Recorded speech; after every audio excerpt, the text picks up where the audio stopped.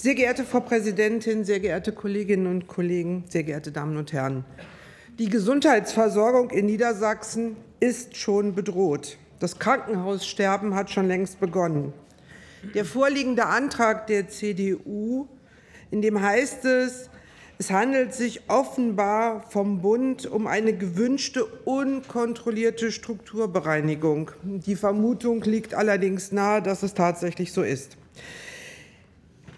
Es ist mehr als drei Jahre her, dass die Fachleute der Enquete-Kommission dargelegt haben, wie es um die medizinische Versorgung in Niedersachsen aussieht und was zu tun ist, damit die medizinische Versorgung für die Zukunft sattelfest gemacht werden kann. Und was hat die aktuelle Regierung unternommen? Ich sage Ihnen, still ruht der See. Von einer handlungsfähigen und handlungswilligen Regierung dürfte man doch erwarten, dass sie schon längst effektive Maßnahmen ergriffen hätte. Aber was sehen wir? Stillstand. Insbesondere die Menschen in ländlichen Gebieten sind die Leidtragenden. Eines der besorgniserregenden Beispiele ist der Landkreis Holzminden. Seit Anfang des Jahres hat dieser Landkreis kein Krankenhaus mehr. Diese 71.000 Einwohner erleben jetzt diese unkontrollierte Strukturbereinigung hautnah. Stadt und Kreis wollten eine gemeinsame Finanzspritze in Höhe von rund 12.000 Euro aufbringen, damit wenigstens der Rumpfbetrieb dieses Krankenhauses erhalten bleibt. Und ich frage Sie, kann das die Antwort auf diese Regierung sein? Ich sage Ihnen ganz sicher nicht. Welche Auswirkungen Welche Auswirkungen Kliniksinsolvenzen auf die Versorgungssicherheit haben, das erleben sicherlich auch andere Bereiche.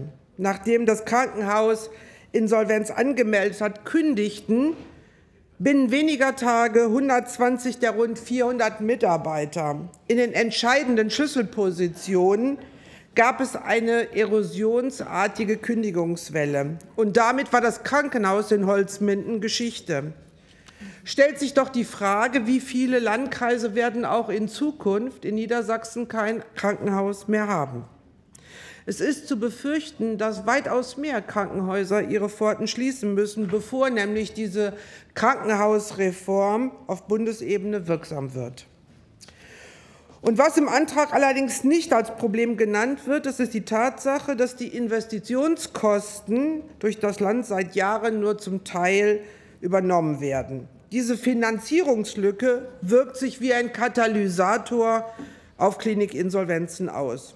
Über die Jahre hinweg muss eine enorme Finanzlücke entstanden sein. Und wie groß dieses Defizit wirklich ist, das habe ich die Landesregierung erst kürzlich gefragt. Und der Antwort sehe ich schon mit Spannung entgegen. Um die Ziele des Krankenhausgesetzes in Niedersachsen realisieren zu können, bedarf es insbesondere bei der Abstimmung zwischen Landes- und Bundesinteressen einer präzisen Ausarbeitung.